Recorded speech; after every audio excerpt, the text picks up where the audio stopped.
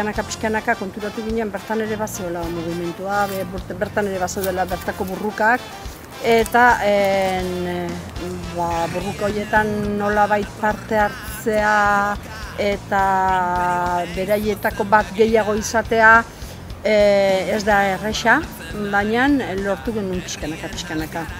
herri bat maitatu daitekela, ba, benetan en jarri ezkero herri horrek dauzkan izateko erak kontuan hartzera, ez? Ba, bueno, erabaki genuen momentu baten ja berriro Euskal Herrira itzultzea, eta ja ez ginen joan ginenak, e, ja beste gauz bat ginen. Guk eh, naiz da hemendikan egin daitekena egin behar dugula kolektiboki eta individualki baita ere, bakoitzak bere, bere pentsakera eta bere neurriaren arabera.